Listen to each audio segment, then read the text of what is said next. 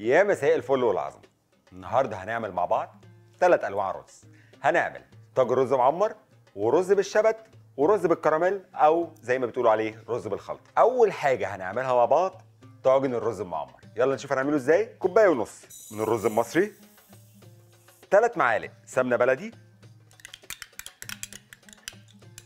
إحنا هنا هنعمل رز معمر حادق فهنديله ملح.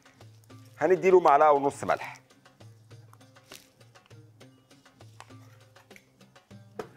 ونص معلقة فلفل أسود. أهم حاجة بقى وأهم خطوة تدليك الرز بالسمنة والملح. هتديله تدليك الرز هيدفى في بقك كده ويديك حنان. عايزين نغطي كل حباية رز بالسمنة. الرز المعمر اللي إحنا بنعمله ده رز معمر حادق. عشان كده هنديله ملح. هنديله معلقة ونص ملح ونص معلقة فلفل أسود. هنفضي الرز بتاعنا في الطاجن. بعد كده هنديله كوباية ونص من الحليب. ونقلبه. كويس. ندخل الحليب في المسام. لأن الرز هيبقى مكلبش شوية من الزبدة أو السمنة اللي فيه. وهنديله ربع كوباية مرقة. وآخر حاجة هنديله شوية قشطة بلدي كده حلوين. ما تبخلش ابدا على المعمر بالقشطة. هندخل دلوقتي الرز الفرن على درجة حرارة 180 فوق وتحت ونسيبه حوالي 25 دقيقة ل 30 دقيقة. خلصنا المعمر ودخلناه الفرن يلا نخش بعد كده على الرز المكرمل. هنولع النار وننزل بمعلقتين كبار من السكر بتاعنا العادي. خلاص السكر داب خالص. لو أي كلكعة حصلت فيه ما تقلقوش هيدوب مع التقليب.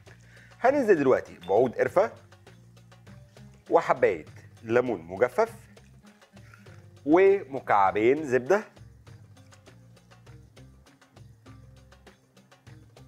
ومعلقتين صغيرين من الملح. نركز مع الملح عشان لو الشوربة بتاعتنا أصلا فيها ملح. وهنزل عليهم بكوبايتين رز مغسول. نقلب بقى الرز وأول ما يغلي هنوطي النار ونغطيه. خلاص كده غلي هنوطي النار على أقل حاجة ونغطيه. هنعمل بقى دلوقتي رز لون أخضر رز الشبت. بيبقى حلو قوي قوي قوي قوي قوي قوي تاني مع الأسماك المشوية. ويا سلام بقى عليه برضو مع المشويات الفراخ وعليها شوية سماق وبصل. يلا نشوف بيتعمل إزاي. هننزل أول حاجة ثلاث مكعبات زبدة. وهما بيسيحوا كده هننزل عليهم بفص توم شرايح أو فصين توم سلام زي ما أنتوا تحبوا. التوم دبل شوية خد لون بس أنا مش عايزه يلون. بعد كده هنزل عليهم بكوبايتين مرقة.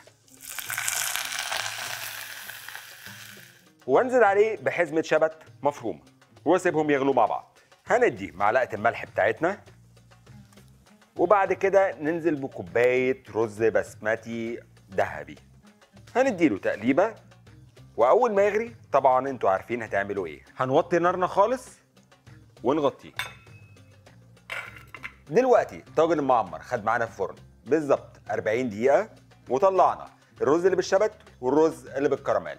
يلا نفنش الرز اللي بالكراميل ويبقى كده خلصنا حلقتنا. إحنا قبل ما نقلبه ادينا عليه شوية مكسرات وهنرمي حواليه كده شوية مكسرات على الجناب. لوز متحمص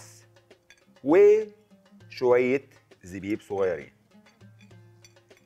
يا سلام بقى لو في شوية كلاوي ضاني كده محطوط عليه من فوق بيبقى آخر قلاجه خلاص خلصنا الرز. أتمنى تجربوه وتعرفوني رأيكم في الكومنتات.